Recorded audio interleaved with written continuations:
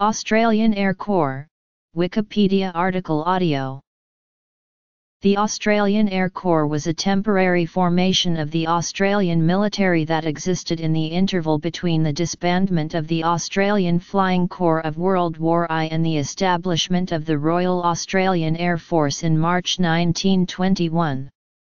Raised in January 1920, the AAC was commanded by Major William Anderson, a former AFC pilot.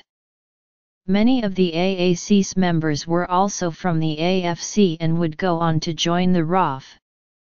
Although part of the Australian Army, for most of its existence the AAC was overseen by a board that also included members of the Royal Australian Navy. The AAC's primary purpose was to maintain assets of the Central Flying School at Point Cook, Victoria, but several pioneering flights also took place under the Corps' auspices. The AAC operated several types of aircraft, including some of the first examples of Britain's imperial gift to arrive in Australia. As well as personnel, the RAAF inherited Point Cook and most of its initial equipment from the AAC. In December 1919, the remnants of the wartime Australian Flying Corps were disbanded, and replaced on January 1, 1920 by the Australian Air Corps, which was, like the AFC, part of the Australian Army.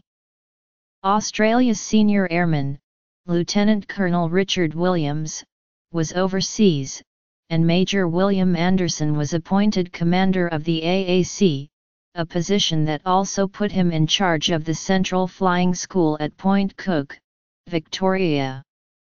As Anderson was on sick leave at the time of the appointment, Major Rolf Brown temporarily assumed command, Anderson took over on February 19. CFS remained the AAC's sole unit, and Point Cook its only air base. Establishment and control Personnel The AAC was an interim organization intended to remain in place until the establishment of a permanent Australian Air Service.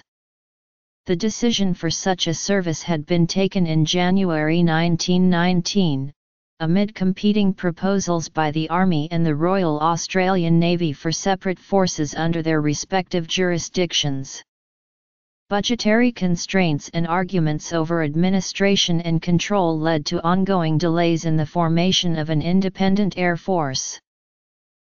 By direction of the Chief of the General Staff, Major General Gordon Legge, in November 1919, the AAC's prime purpose was to ensure that existing aviation assets were maintained, but he later added that it should also perform suitable tasks such as surveying air routes. The Chief of the Naval Staff, Rear Admiral Sir Percy Grant, objected to the AAC being under Army control, and argued that an air board should be formed to oversee the AAC and the proposed Australian Air Force. A temporary air board first met on January 29, 1920, the Army being represented by Williams and Brigadier General Thomas Blamey, and the Navy by Captain Wilfred Nunn and Lieutenant Colonel Stanley Goble, a former member of Britain's Royal Naval Air Service then seconded to the Navy Office. Williams was given responsibility for administering the AAC on behalf of the board. A permanent air board overseen by an air council was formed on November 9, 1920, these bodies were made responsible for administering the AAC from November 22. Most members of the AAC were former AFC personnel. In August 1919, several senior AFC pilots, including Lieutenant Colonel Oswald Watt, Major Anderson, and Captain Roy Phillips, were appointed to serve on a committee examining applications for the AAC. Some of the staffing decisions were controversial. At least three officers at the CFS, including the commanding officer, were not offered appointment to the new service. Roy King, the AFC's second highest scoring fighter ace after Harry Cobby, refused an appointment in the AAC because it had not then offered a commission to Frank McNamara, VC. In a letter dated January 30, 1920, King wrote, I feel I must forfeit my place in favor of this very good and gallant officer. McNamara received a commission in the AAC that April. Other former AFC members who took up appointments in the AAC included Captains Adrian Cole, Henry Wrigley, Frank Lukis, and Lawrence Wackett.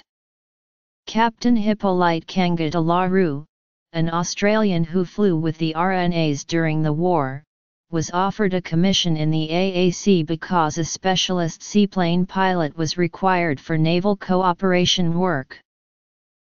The Corps' initial establishment was nine officers commanding officer, adjutant, workshop commander, test pilot, four other pilots, and medical officer and 70 other ranks.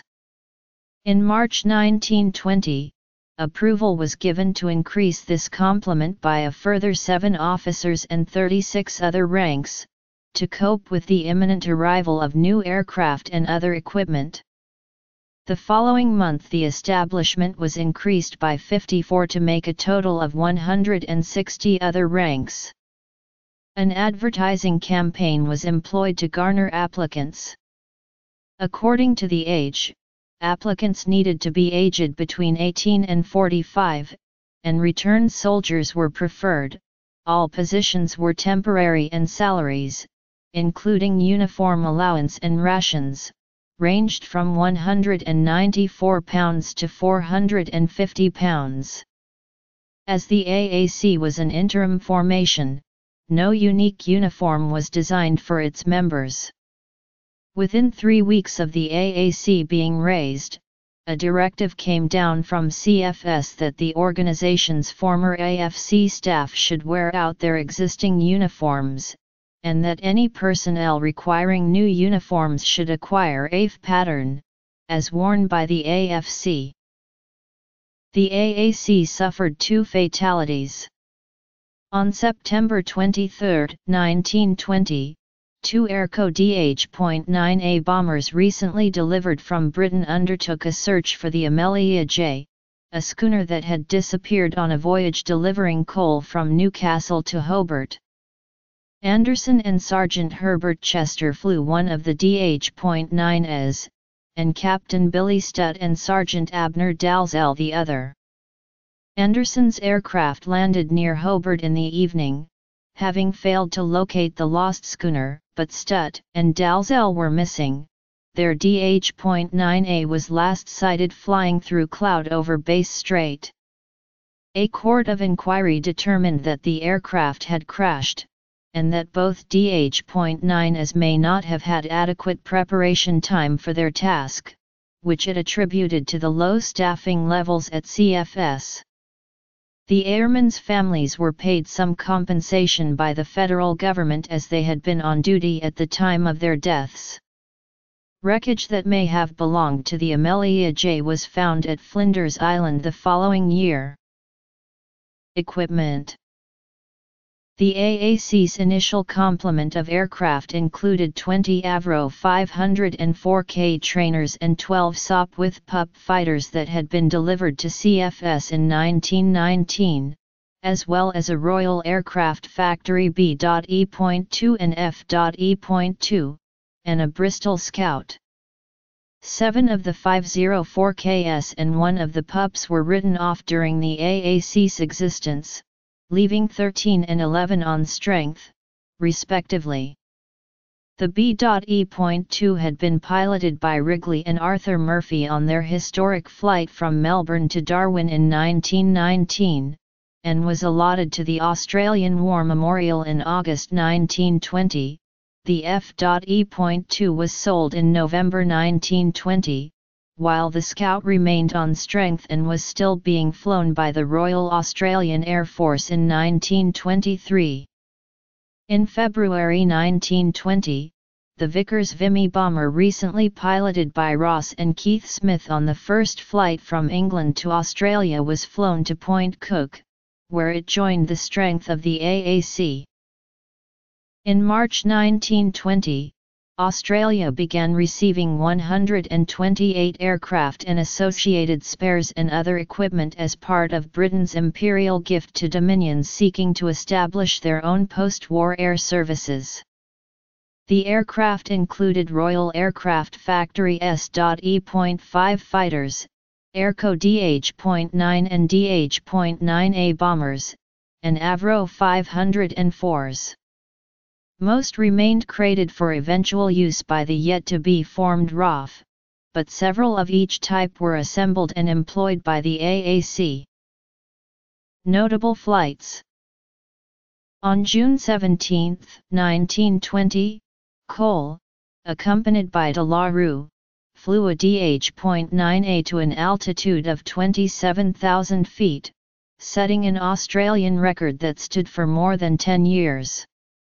The effects of hypoxia exhibited by Cole and de la Rue intrigued the medical officer, Captain Arthur Lawrence, who subsequently made observations during his own high-altitude flight piloted by Anderson, this activity has been credited as marking the start of aviation medicine in Australia.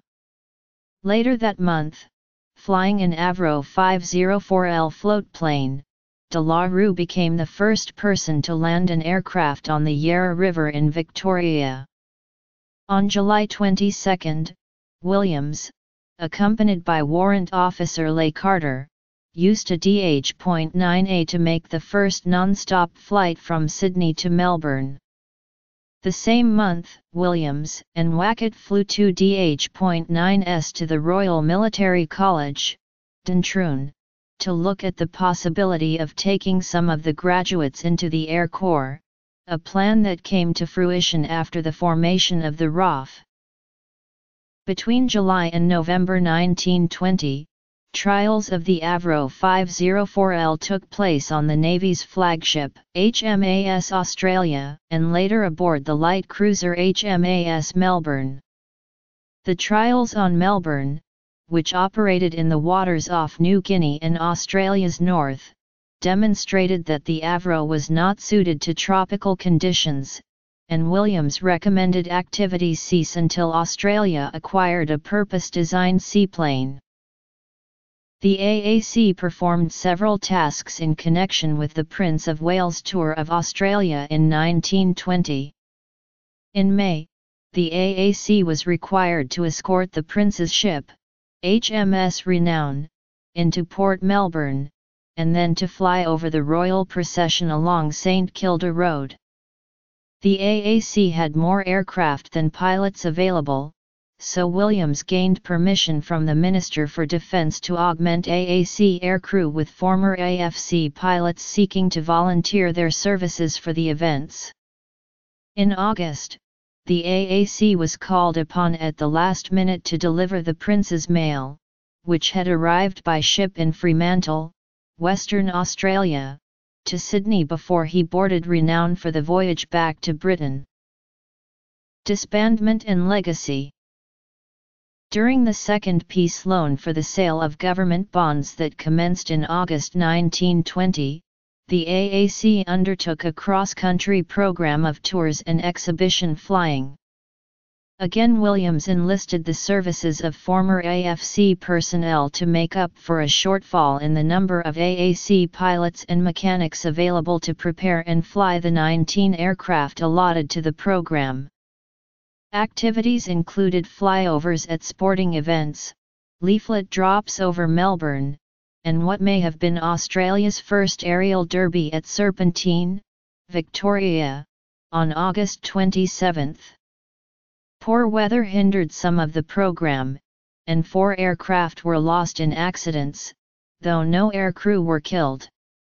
The second peace loan gave AAC personnel experience in a variety of flying conditions, and the air service gained greater exposure to the Australian public. Notes On March 15, 1921, the Brisbane Courier reported that the AAC would disband on March 30, and be succeeded by a new Air Force. The Australian Air Force was formed on March 31, inheriting Point Cook and most of its initial personnel and equipment from the AAC. The royal prefix was added to Australian Air Force that August. Several officers associated with the AAC, including Williams, Anderson, Wrigley, and McNamara, went on to achieve high rank in the Air Force. According the RAAF's Pathfinder Bulletin, the AAC kept valuable aviation skills alive until a permanent air force could be established. The Corps was, further, technically separate from the Army and Navy, its director answered to the Minister for Defence, through the Air Council. In effect, the AAC was Australia's first independent air force, albeit an interim one.